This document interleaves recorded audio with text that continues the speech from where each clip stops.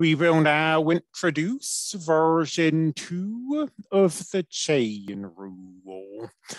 I'm not going to make this video super long because it's never been my observation that more talking translates into more student learning but you should understand that this is one of the most important sections of this class, one of the most important topics, and you should make it a major priority to master this material and to master it as quickly as possible. Suppose you have a function that is the composition of two other functions. And you want to take its derivative. Let's give these two functions names. F will be the outside function. G will be the inside function. The chain rule says to take this derivative you differentiate the outside function. You stick the inside function inside of the derivative. And then you multiply by the derivative of the inside function action. This is version two of the chain rule. Let's return to this derivative. We took it using version one of the chain rule. Now let's take it again. So to use the chain rule, you have to recognize that you've got composition. You see, we're taking the sine of something, but we're not taking the sine of x. We're taking the sine of some function. This is composition. The sine is the outside function. The quadratic is the inside function. And what does the chain rule say to do as far as derivatives go? Well, we should take the derivative of the outside function, the derivative of two times the sine is two times the cosine. So there's the derivative of the outside function. And we should stick the inside function inside. Two times the cosine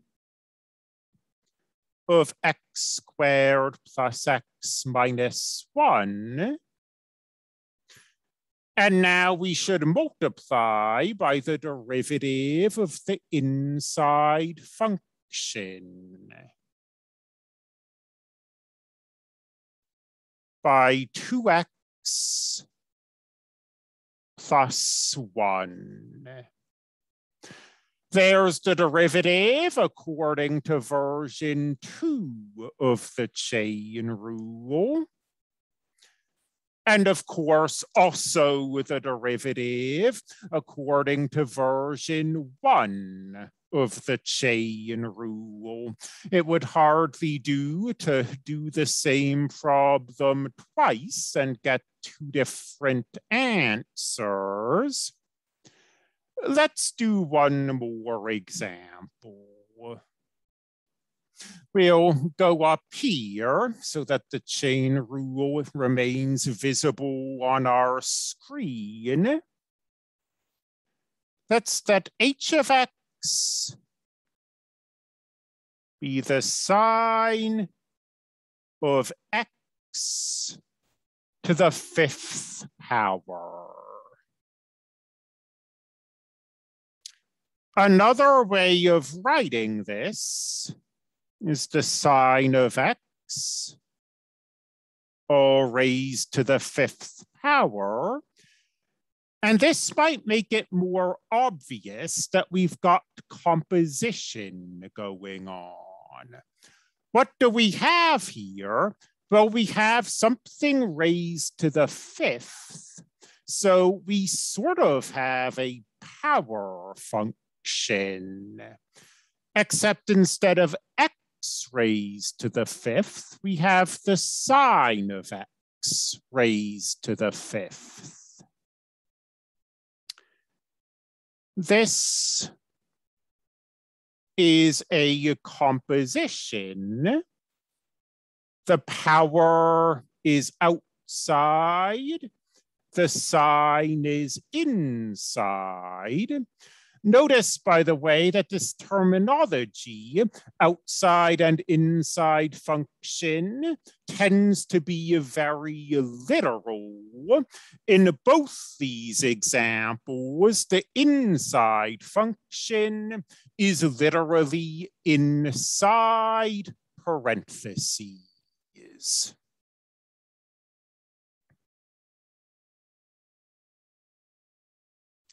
What's the derivative then? Let me cover up that distraction. Well, according to the chain rule, we should take the derivative of the outside function. And the derivative of the fifth power brings the five down and reduces it to four. What goes here? Well, according to the chain rule, we should stick the inside function in there. So the sine of x, and then we should multiply by the derivative of the inside function the derivative of the sine is the cosine. And that's our solution. In spite of the importance of the chain rule, I'm not going to do a bunch more examples. I mean, I'm not going to do any more examples.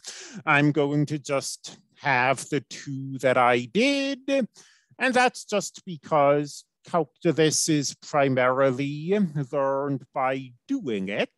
I don't think you need to watch me do a bunch more examples. I think you need to attempt those yourself. So there's, of course, a lengthy homework assignment on this material but I'm going to call this video here.